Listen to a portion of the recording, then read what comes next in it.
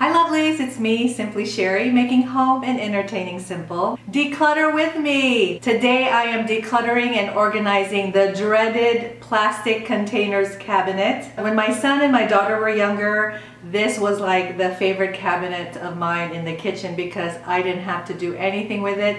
I had a mom tell me the best thing to do in your kitchen is to create a plastics cabinet that is within reach of your toddlers so that when you're in the kitchen they can just play around with all those plastic containers.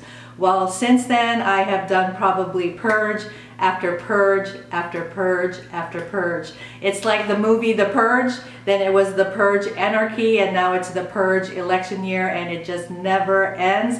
So hopefully today I can get rid of a few more stuff if not, at least organize it better. This is my plastic containers cabinet. It's right below the breakfast bar.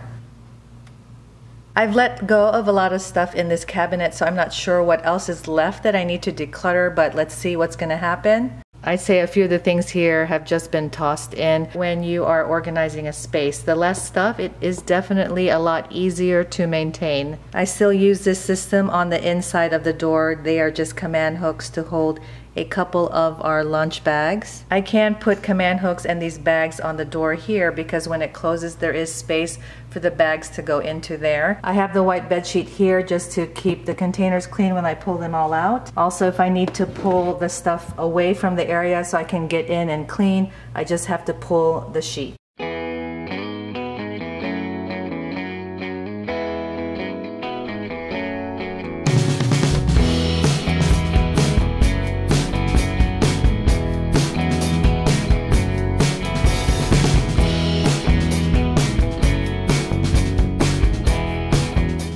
So now I'm just gonna clean inside.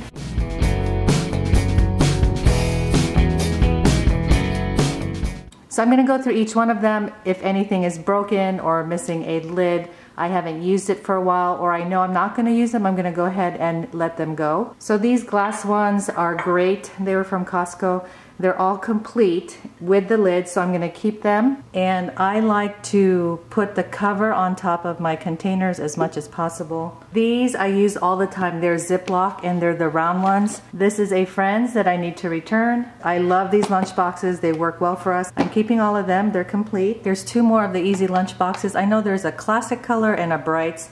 So that's six. I know that I have eight total.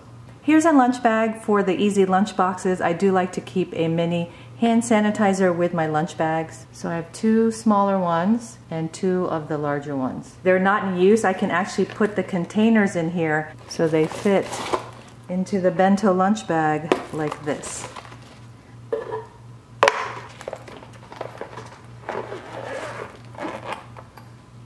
Here's a container for bacon or for deli. Okay, these are, I'm keeping, sometimes I put them in the freezer for the frozen fruit for smoothies. This one we're keeping, I, we got this from um, Japantown in LA, and it does come with its own bag. Just, just pull the flaps down like that. Then it's got this compartment.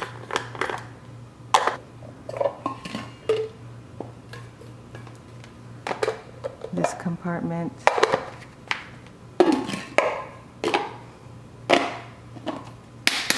So we're keeping this. Then I have these large plastic open file boxes that I use kind of like a drawer in the cabinet because it slides in and out like that. Okay, I have four of these large Rubbermaid take-alongs and I definitely want to keep these. These two I am not finding the container for it so I'm going to put it aside for now these I know do not have a companion, so I have to let these go. Five containers, five lids, so I'm keeping them. And then this, of course, I'm gonna keep. I'm just gonna wash it out. Oh, here's another one. So I don't have two large ones, I have three of them. Okay, so this one also acts like a drawer and I've labeled it lunch containers. I've had this same system for years. I do keep brown bags back here because on the occasional field trip when they need a brown bag, um, we're like, where's the brown bag? So we've always just kept them there.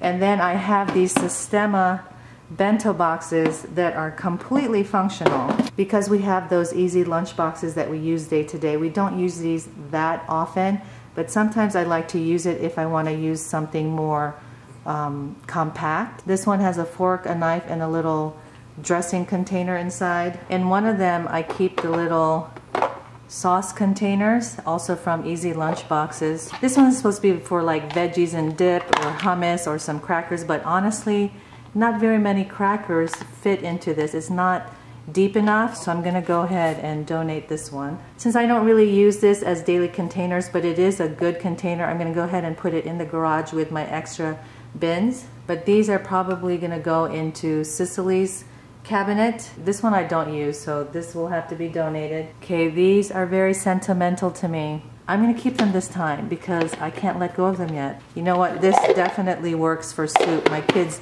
do love soup for lunch, so I'm gonna keep that. And this is labeled fruit and veggie containers.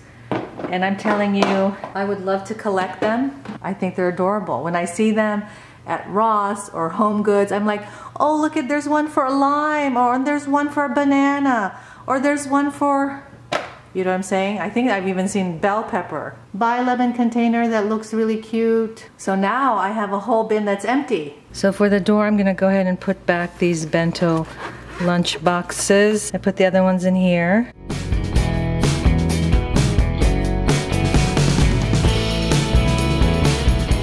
See how this open file box just slides in and then out?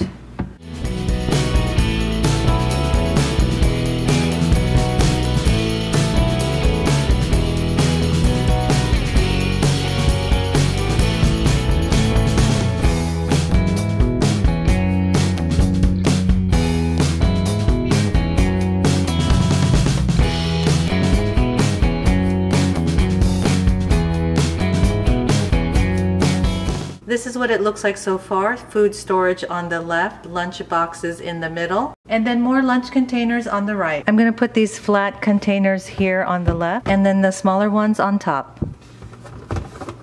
In the middle, I'm gonna put the glass containers with the covers on them already. For the lunch bags that my kids use every day, I put them in a smaller open file box and put a label lunch bags. And they're gonna go on the shelf on the top right, just above the lunch containers.